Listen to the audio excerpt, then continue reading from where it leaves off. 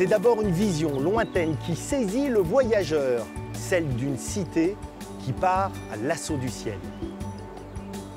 Puis on pénètre dans le village, on escalade les rues tortueuses et immédiatement le voyage dans le temps commence. Corde sur ciel, l'une des plus anciennes bastilles d'Occitanie, est l'endroit idéal pour vous inviter à partir en exploration dans le Moyen Âge. De Peine d'Albigeois et sa forteresse cathare, aux fermes médiévales de Corrèze, vous allez découvrir des lieux étonnants, mais plus encore des personnages attachants, fascinés par cette période de notre histoire.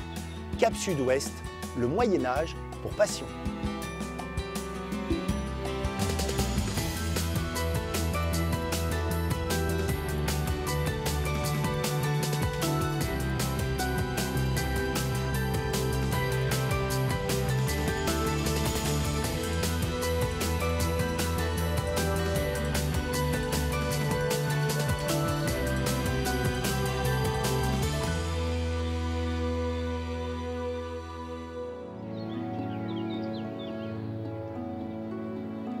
C'est au nord du département du Tarn, un peu à l'écart des itinéraires touristiques, que nous commençons nos escapades médiévales.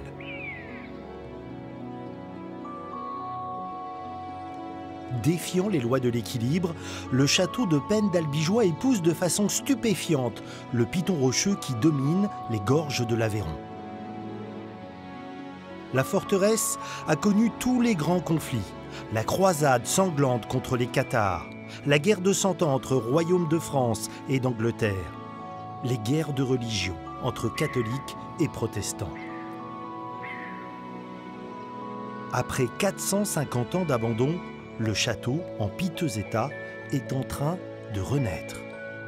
Axel Letellier, qui a racheté le site en 2006, s'est lancé un défi, sauver un lieu et une histoire tombés dans l'oubli.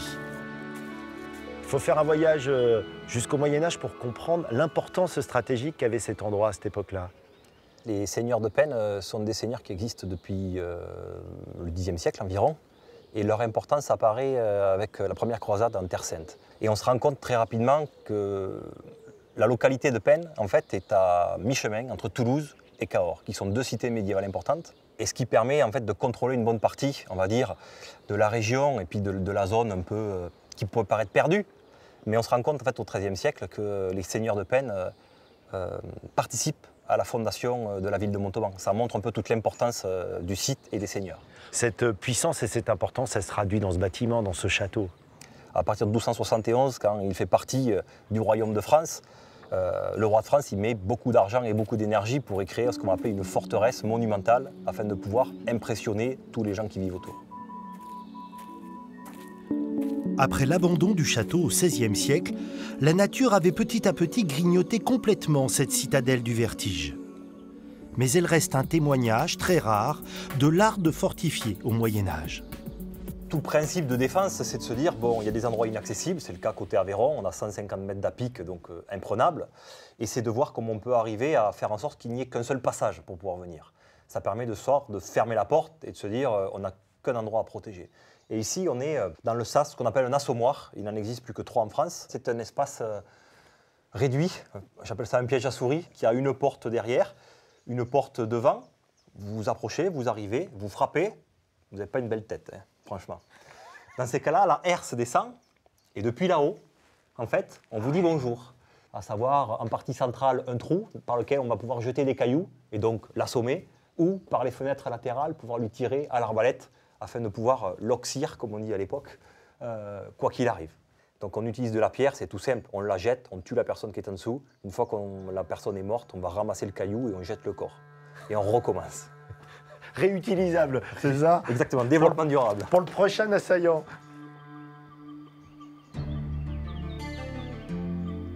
Racheter un château en ruine aurait pu en refroidir plus d'un. Mais pour Axel, passionné par le Moyen Âge, ce fut tout le contraire. Ici, quand on est arrivé, en fait, euh, qu'on a racheté le château en 2006, il y avait environ 1,50 m de gravats. Et, euh, c'est ça qui est intéressant euh, au château. Donc, on s'est attaqué à déblayer pour se rendre compte et rendre accessible la zone. Et, et on a retrouvé ces pierres qui sont un peu surprenantes parce que ce sont que des pierres plates. Et en fait, c'est le mode constructif au Moyen Âge ici à peine. Et donc c'est ce qui est très intéressant dans le château. La passion qui m'anime en tant qu'architecte et architecte du patrimoine, c'est d'arriver à comprendre comment on a construit et pourquoi on a construit. Et la chance que j'ai, c'est que personne n'avait rien fait au préalable. Et ici, on a cette chance-là, 11e, 12e siècle, deux fenêtres 14e, et puis c'est tout. Toi qui as cette capacité d'imaginer tel que le lieu était, euh, en fait, on est où là? Ici, on est sur l'espace de la terrasse, à proximité immédiatement de la grande salle. Il y a toujours une salle d'apparat pour pouvoir impressionner. Et cette période est une période post-1271, c'est-à-dire faite par le roi de France, où en effet, on a une belle salle dans laquelle on va rendre la justice, on va accueillir les visiteurs avec une cheminée monumentale, avec des fenêtres à coups-sièges, afin de pouvoir euh, impressionner euh, la personne qui nous rend euh, visite. Dans les idées reçues, il y a par exemple celle qu'il faudrait des, des, milliers d'hommes sur un château comme celui-ci pour pouvoir préserver sa sécurité, c'est le cas? À peine, on estime que la, la quantité d'hommes nécessaires à défendre le château, c'est une douzaine de personnes. Pas plus Non, une garnison, c'est une douzaine de personnes, pour des raisons assez simples. C'est-à-dire que vous pouvez être 500 dehors et 12 dedans, mais à chaque fois que vous tirez euh, à l'arc euh, depuis une meurtrière, euh, tu fais mouche. Et donc tu tues une personne de dehors, alors que de dehors, tu ne sais pas combien il y a de personnes à l'intérieur. Donc il y a quand même le stress de l'approche et de se dire par où je vais être attaqué. Et c'est vrai que c'est un élément défensif essentiel.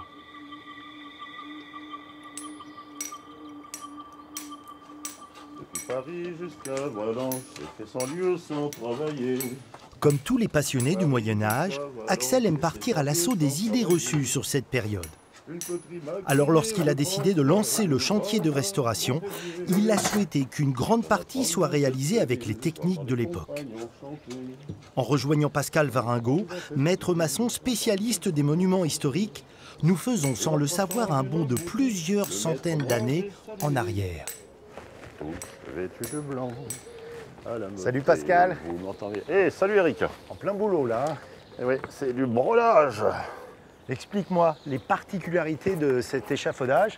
Que du bois Que du bois et des cordes hein, que font nos cordières, cordes en chanvre. C'est aussi solide qu'un échafaudage métallique comme on peut l'utiliser euh, aujourd'hui? Je ne veux pas dire même plus, mais, mais autant on a, une, on a une stabilité, on a une inertie avec ces plateaux.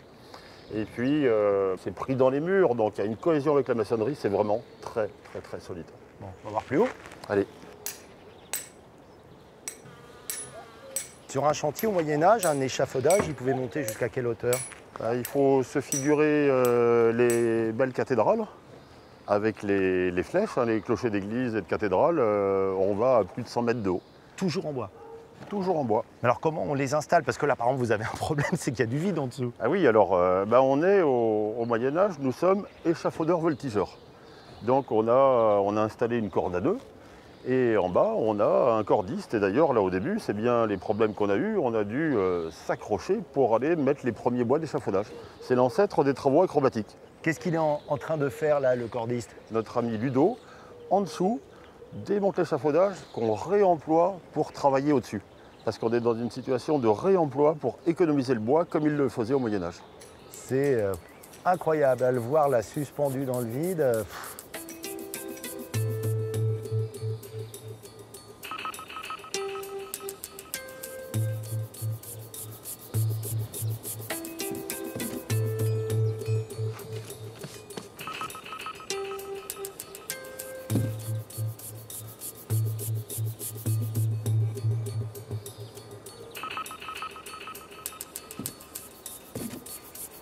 Méthode traditionnelle, quel sens ça a pour toi de faire un chantier ici avec les méthodes utilisées à l'époque? Ça me permet de, encore mieux comprendre le bâti médiéval. Notre histoire de trou de boulin, les bois qui traversent, euh, moi je l'avais lu dans des bouquins, je l'avais vu euh, sur des chantiers, ainsi de suite. Là, on est sur le chantier, on les fait traverser, on les prouve et on voit que ça marche et c'est mettre une belle stabilité. Donc euh, quelque part on avance, on avance encore dans le métier, puisque mon métier c'est de restaurer de l'ancien. Donc euh, dans mon cas c'est vraiment très utile. Bravo en tout cas Ludo, hein chapeau. Allez, allez, t'endors pas, à l'œuvre, à l'œuvre Oh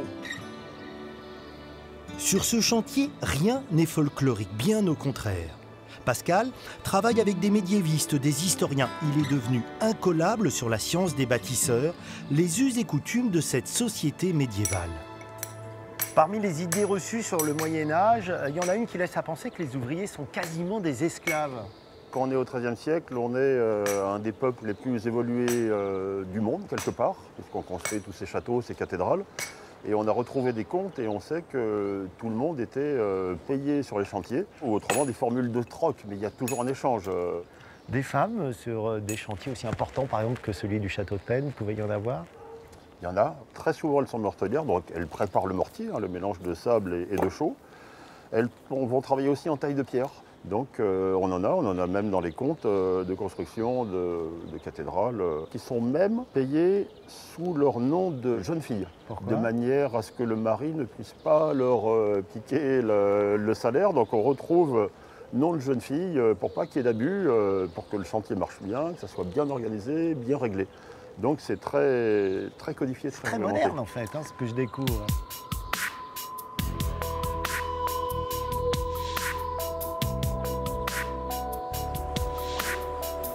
Souvent, les vocations naissent dans l'enfance.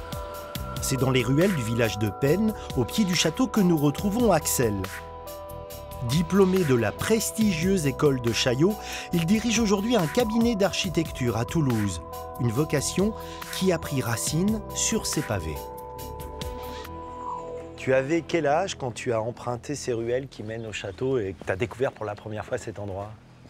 Ben, en fait, euh, j'ai découvert Penn à l'âge de 11 ans, pour la première fois, puisque familialement, on habitait Montauban, juste à côté.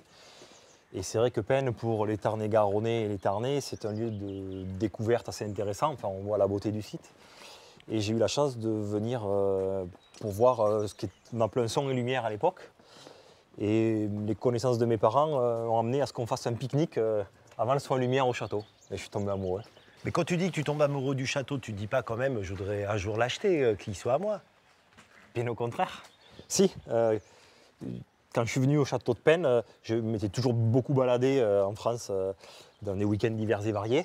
Et quand j'ai découvert le château de Penn, j'ai dit il faut l'acheter. J'ai essayé d'acheter le château de Penn euh, quand j'étais gamin, 14-15 ans. Ça n'a pas marché. Attends, excuse-moi, 14 ans, tu vas acheter le château de Penn, ça veut dire quoi? Tu gardes tes économies, c'est ça? Ouais, oui, c'est ça. Je vais voir le propriétaire et je lui fais une proposition d'achat euh, euh, avec les quelques économies que j'avais, à savoir pas grand-chose. Mais euh, un château vaut rien. Un château, euh, c'est la valeur qu'on veut bien y mettre et l'engagement qu'on y met à l'intérieur. Et je considère que le château de Penn, c'est euh, ça, c'est le rendre en meilleur état que je ne l'ai reçu au démarrage. Finalement, tu as quel âge quand tu euh, achètes le château et tes premières réactions quand, quand tu signes, c'est quoi? J'achète le château à mes 30 ans. J'ai un, client pour qui je travaille et qui, euh, qui a aussi un château et qui, qui m'a dit quelque chose d'intéressant comme ça une fois. Il m'a dit, tu sais Axel, dans un château, il y a deux instants de bonheur essentiels. Le jour où tu l'achètes et le jour où tu le vends. Ce que je comprends en t'écoutant, c'est que c'est bien d'avoir des rêves d'enfant, que ce soit de devenir astronaute ou d'acheter un château. Et je pense que c'est la meilleure façon de réussir sa vie. C'est ça, c'est de faire la folie auquel on pensait qu'on était tout petit. Ça se voit, hein t'es heureux quand t'en parles quand même. Oui, oui, je suis heureux parce qu'en effet, euh, en effet euh, on m'a souvent dit ne fais pas ce genre de, bêtises, euh, ça n'a pas d'intérêt, quelle utilité ça Ben, Quelle utilité ça C'est que tous les soirs quand je me couche ou tous les matins quand je me lève, je suis heureux de le faire. Et si je suis heureux de le faire, c'est parce que j'ai la chance d'avoir un métier qui me plaît, mais aussi d'avoir comme ça une folie ou une passion qui est dévorante et qui donc te happe à aller de l'avant, tout simplement. Pour certains, le Moyen Âge est une telle passion qu'ils sont prêts à toutes les folies. Autre illustration en Corrèze avec l'incroyable histoire de Pierre Gire. Nous voici en Xintrie, plus précisément aux fermes médiévales à côté de Saint-Julien-au-Bois. Ici, pas de château, mais un hameau qui permet de comprendre comment vivait l'immense majorité du peuple médiéval, les paysans. Salut Pierre. Bonjour. Tu es de corvée d'eau à ce que je vois. Oui. Pour avoir de l'eau, tu es obligé d'aller euh, Ah au oui. puits. Au puits ou à la fontaine. Avec ses chaumières, toutes meublées, ses granges, ses animaux, ses cultures bordées de murets en pierre sèche, le village semble avoir traversé les siècles. Et pourtant, le site était totalement vierge il y a dix ans. Avec la seule aide de son père et de son frère, Pierre Gire, pâtissier de formation, autodidacte de l'histoire, a réalisé son grand œuvre. Et cette reconstitution n'est pas le fruit de son imagination, elle s'appuie sur des recherches, des rencontres, de l'archéologie de terrain. Toiture de chaume, ça me fait toujours rêver. Ça- C'est-à-dire que ça, ça protège de la pluie. L'eau passe pas. Ah non, non, non, non, c'est le but. hein. Donc euh, il y a de la pourriture en surface là, mais euh, c'est très étanche. Quoi. Et de temps en temps, on répare, euh, c'est vite fait, hein, quelques poignées de paille, on renfile aux endroits où on a quelques creux comme ici, et puis c'est reparti pour quelques années. Quoi. Et alors, comment vous avez su comment fabriquer, comment réparer une toiture de chaume? Ben, on a appris surtout sur le tas ou sur le toit. Est-ce que vous avez fait des, des concessions à la modernité ou la volonté d'authenticité? Là, par exemple, à cette porte, il y a quoi? Il y a des clous, il y a des choses pour que ça tienne? Mais le métal étant euh, très euh, coûteux à l'époque, euh, normalement, euh, gond, penture, c'est en bois. Quoi. On se débrouillait. hein. Moins on utilisait de fer, mieux c'était. Alors, au moment où vous avez fait la construction, quand même, quoi On prend une petite perceuse à un moment, quelque Euh, chose? nous, on a quasiment tout percé ici à la tarière.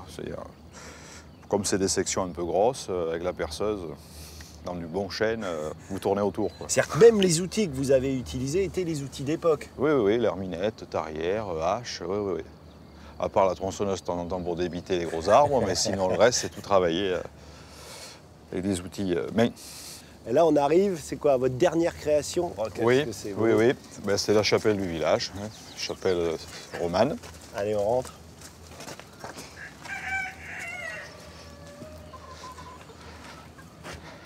Avec son cimetière. Ça signifie que euh, on a enterré là où on a vécu. Ah oui, oui. Euh, à l'époque, euh, la mort, c'est la continuité de la vie. hein. Eh bien, on ne séparait pas les morts des, des vivants, quoi. Ils restaient euh, au cœur même du village.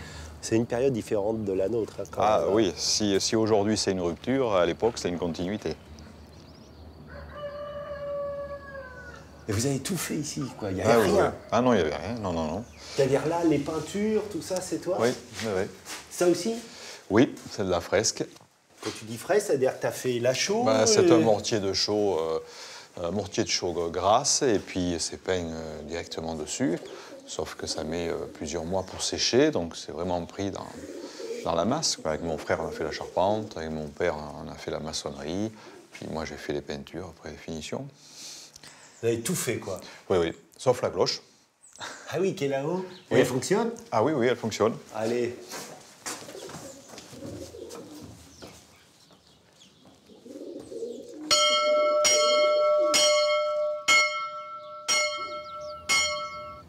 Pierre, vous poussez le vie jusqu'à à vivre ici, si j'ai bien compris. Oui, je reste euh, toute l'année dans le village, oui. Mais alors, c'est-à-dire que vous vivez aussi euh, donc euh, dans les conditions, bon, c'est-à-dire pas d'électricité, par exemple. L'électricité, euh, j'en ai un peu. Ouais. Une ampoule et une prise, donc euh, Ah oui, c'est quand même très restreint. oui. Pourquoi vous avez cette passion pour cette période euh, C'est-à-dire que l'évolution était nulle au pays. Donc, euh, au 19e, on vivait comme au 15e ici. Mais l'intérêt, c'est qu'aujourd'hui, euh, on est dans un grand tournant. euh, on n'a jamais connu un tel bouleversement dans la société humaine. Donc, euh, pour moi, c'est une mémoire, c'est important.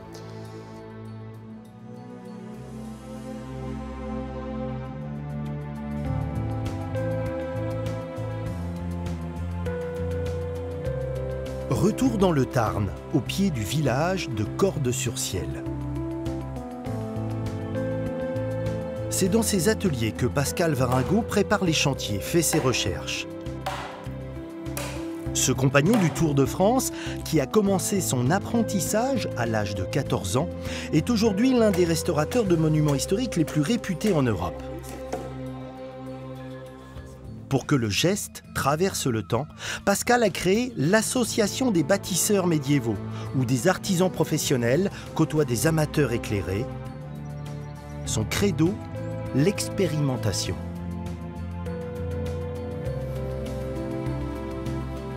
Pascal, je vois une arme de guerre là, une arme de jet. Tu en reconstruis beaucoup de ce type? On n'en fait pas beaucoup là. On a une pierrière, euh, on a une pierrière et une bricole. On est plutôt euh, spécialisé dans la construction d'engins de chantier. C'est- quoi? C'est presque philosophique pour faire la construction à la guerre, c'est ça? Quelque part, euh, voilà, je suis bâtisseur, constructeur c'est en pleine activité. Explique-nous là quels sont les différents ateliers que tu as. Alors, nous avons un atelier de corderie avec nos cordières. Euh, on réunit finalement des fils avec euh, ce qu'on appelle le toupin. On tourne euh, des émerillons qui réunissent les fils entre eux. Et on fabrique nos cordes qui vont nous servir d'ailleurs euh, pour les échafaudages. Allez, on tourne et on entame une, torsion qui amène une tension sur chaque fil.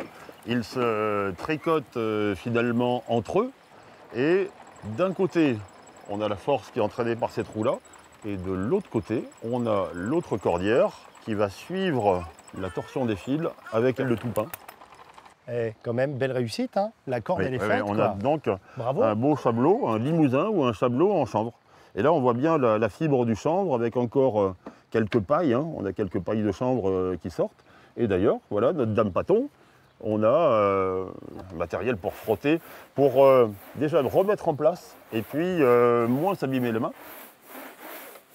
Les cordages sont importants. Ils sont faits pour être utilisés sur des appareils assez étonnants comme celui-ci. De quoi s'agit-il? La cage à écureuil ou treuil à tambour, c'est l'équivalent de la grue du Moyen-Âge. Alors on a vu, avant qu'on arrive, euh, qu'il euh, a été monté cette grande pièce en bois. Euh, de- comment ça s'appelle et à quoi ça sert? C'est une chèvre. C'est une chèvre, donc cet élément triangulaire qui est par définition indéformable nous permet d'avoir une structure adaptée au levage. Et là, on monte en gros 7 mètres de haut, ce qui fait 14 coudées, quoi, ce qui est déjà pas mal. Avec le terme cage à écureuil, je devine un peu son fonctionnement, mais je te laisse lancer l'opération pour qu'on on la comprenne encore mieux. Alors ça va fonctionner. Vous êtes prêts à hisser? Pareil Allez, on hisse. Pas trop vite. On y va, on sent la tension de la corde. Allez, en avant. On hisse. Vous n'oubliez pas de regarder la pierre devant vous. Et la pierre se lève, c'est parti, magique. allez, hop, hop, on hisse. Deux adultes euh, avec cette machine-là lèvent très facilement plus d'une tonne.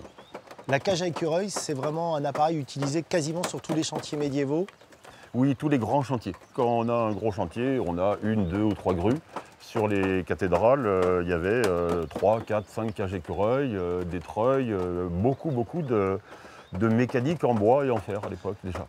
Hop Bon, bah écoute, formidable, ça me donne envie d'essayer, moi. Ah, mais bonne idée. Ça fait un peu euh, manège forain, à part que là, au moins, ça a une utilité. Tout à fait.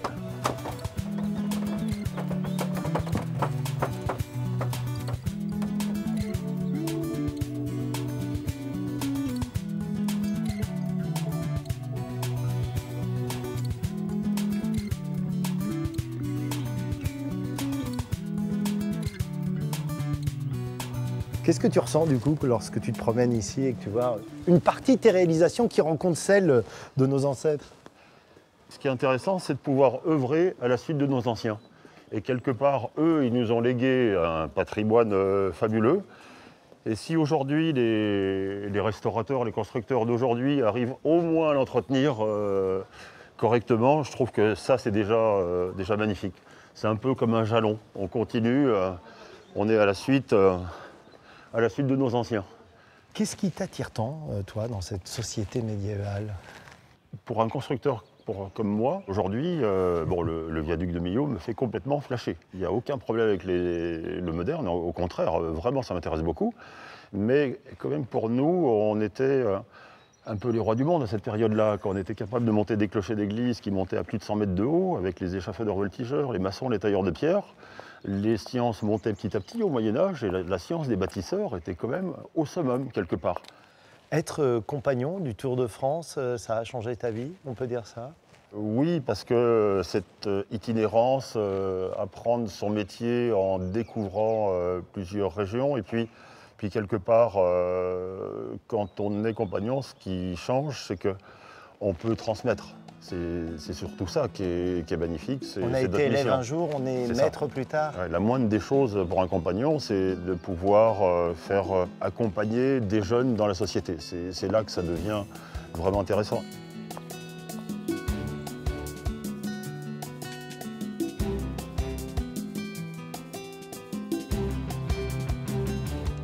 Lorsque l'on évoque le Moyen Âge, on a tendance à se focaliser sur les traces les plus visibles, les châteaux forts, les cathédrales. Mais on ne soupçonne pas tous les apports que l'on doit à cette période.